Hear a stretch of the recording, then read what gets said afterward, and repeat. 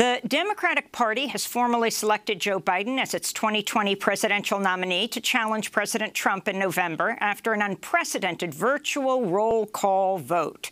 Tuesday evening's keynote address was given by 17 so-called rising stars in the Democratic Party, including voting rights activist Stacey Abrams, who ran for governor in Georgia in 2018. Former Presidents Bill Clinton and Jimmy Carter also spoke Tuesday, as did failed 2004 Democratic presidential candidate John Kerry. For a second night in a row, the Democratic National Convention prominently featured the voices of Republicans and former Republicans making the case for Biden.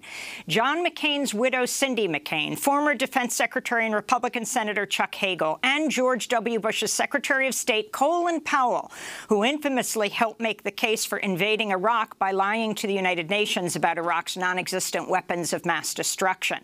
During a primetime address, Powell praised Biden and his late son, Beau Biden, a member of the Delaware Army National Guard who deployed to Iraq in 2008.